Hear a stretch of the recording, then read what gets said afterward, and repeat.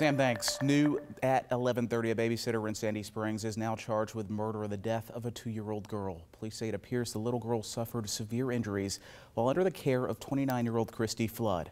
The victim was found unresponsive in an apartment on Monterey Parkway last Wednesday. Flood now faces several charges, including felony murder and cruelty to children.